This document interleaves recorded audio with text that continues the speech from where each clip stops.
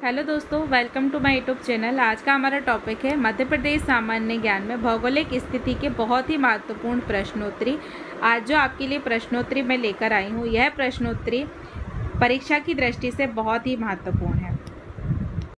इसमें जो आपको प्रश्नोत्तरी बताई गई है, वह सभी पेपर्स में से लिए गए हैं, जैसे M P P S C M P E S B bank हो सी टेट हो एसएससी एग्ज़ाम हो, इन सभी ने अभी तक जो परीक्षाएँ आयोजित की हुई हैं और उन सभी में से जो पे, उन सभी के जो पेपर्स हैं, उसमें से प्रश्नोत्तरी आपको बताई गई है।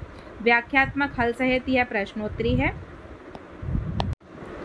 इसमें हमारा फ़र्स्ट क्वेश्चन है, नर्मदा घाटी उदाहरण है, इसका आंसर है भ्रंश घाटी का। इसके बारे में अब हम विस्तार से जानेंगे।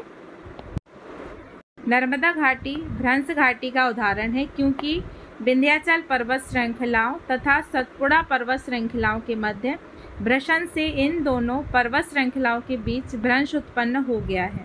मध्य प्रदेश के पूर्व तथा पश्चिम में नर्मदा तथा सोन नदी की घाटियों के बीच भूभाग नर्मदा सोन नदी घाटी के रूप में जाना जाता है। नर्मदा सोन की घाटी नर्मदा सोन की घाटी मध्य प्रदेश के मध्य अधिकतम नीचा भाग है, जिसकी समुद्र तल से ऊंचाई लगभग 300 मीटर है।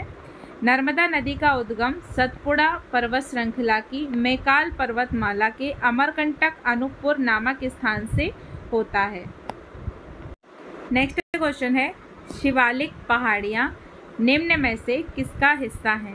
इसका आंसर है हिमालय। और इसके बारे में अब हम विस्तार से मतलब इसकी व्याख्या जानेंगे। शिवालिक पहाड़ियाँ हिमालय पर्वतमाला का हिस्सा है। यह हिमालय की सबसे वाह श्रेणी है, जबकि अरावली एक वलित पर्वत है। सतपुड़ा विंध्याचल पर्वतमाला श्रृंखला का हिस्सा है। नेक्स्ट क्वेश्चन है, निम्नलिखित में से मध्य प्रदेश के किस ज़िले की सीमा उत्तर प्रदेश को स्पर्श नहीं करती है? इसका आंसर है श्योपुर और इसके बारे में हम विस्तार से जानेंगे मतलब इसकी व्याख्या जानेंगे। मध्य प्रदेश के श्योपुर ज़िले की सीमा उत्तर प्रदेश को स्पर्श नहीं करती, बल्कि यह श्योपुर जिला राजस्थान राज्य को स्पर्श करता है, जबकि भिंड, सतना, शिवपुरी जनपद उत्तर प्रदेश की सीमा को छूते हैं। नेक्स्ट क्वेश्चन है, मध्य प्रदेश की जलवायु है, इसका आंसर है मानसूनी। मध्य प्रदेश की जलवायु मानसूनी है। इसके बारे में और विस्तार से जानेंगे मतलब इसकी व्याख्या जानेंगे हम।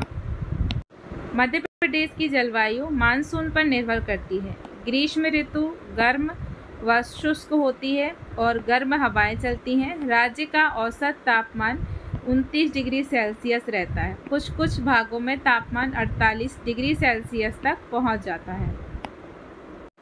नेक्स्ट नेक्स्ट क्वेश्चन है, मालवा पठार की सबसे ऊँची चोटी का नाम क्या है? इसका आंसर है सिगार। अब इसके बारे में हम विस्तार से जानेंगे। मालवा का पठार विंध्य विंध्य पहाड़ियों के आधार पर त्रिभुजाकार है। यह एक लावा पठार है। इसके पूर्व में बुंदेलखंड और पश्चिम में अरावली पहाड़ियाँ हैं। इसकी ढाल उत्तर पूर्व की ओर है। मालवा पठार की सबसे ऊँची चोटी सिगार है, जो आठ सौ इक्यासी मीटर ऊँची है।